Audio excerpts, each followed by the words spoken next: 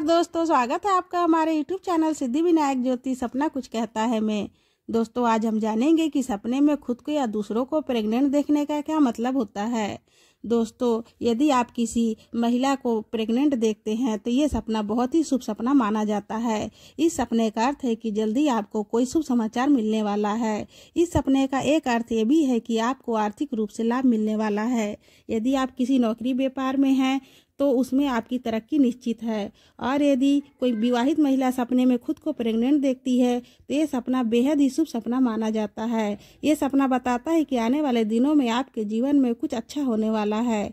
सपने में खुद को प्रेग्नेंट देखने का मतलब है कि आपको आपके ससुराल में मान सम्मान मिलने वाला है। साथ ही आपका दाम्पत्य जीवन भी खुशहाल होने वाला है।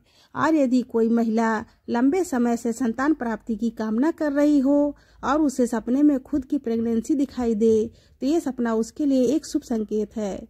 इसका मतलब है कि आपको जल्द ही माँ बनने की खुशखबरी मिलने वाली है। और यदि कोई अविवाहित महिला सपने में खुद को प्रेग्नेंट देखती है तो ये एक अशुभ सपना माना जाता है। स्वप्न शास्त्र के अनुसार इसका मतलब है कि उस महिला के जीवन में संकट आने वाला है। उसे अपने जीवन में कई कठिनाइयों का सामना करना पड़ सकता है। समाज में आपका मान सम्मान घट सकता है।